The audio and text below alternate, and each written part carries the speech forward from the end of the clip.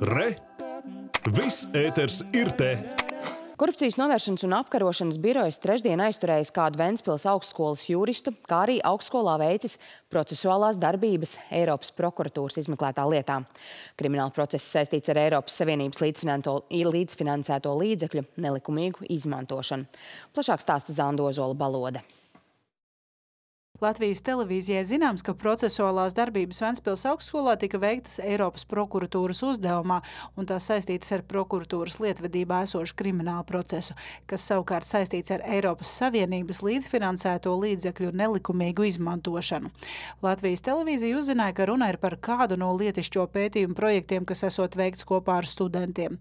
Par šo gadījumu jau 20. gada oktobrī policijā vērsās Centrālā finanšu līguma aģentūra, lūdzot izvērtēt, vai nav nav konstatējams mēģinājums krāpšanas ceļā iegūt Eiropas Savienības fondu finansējumu.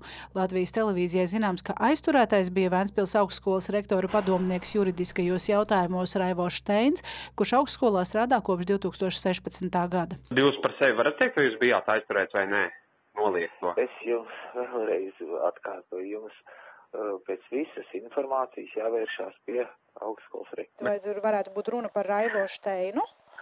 Mm, ziniet, eh, nu, tas, ka kādi darbinieki ir izsaukti ja, un, un, un pratināti, bet saku, tas nenozīmē, ka ir, ir, ir tieši uh, krimināla lieta vai kāda cits procedūras darbības ja, pret vienu vai otru vai trešo.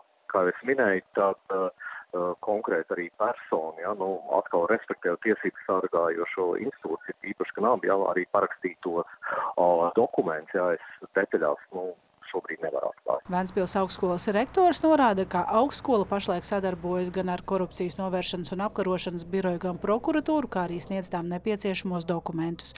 Zandozola Balode un Ivo Leitāns, Latvijas televīzija.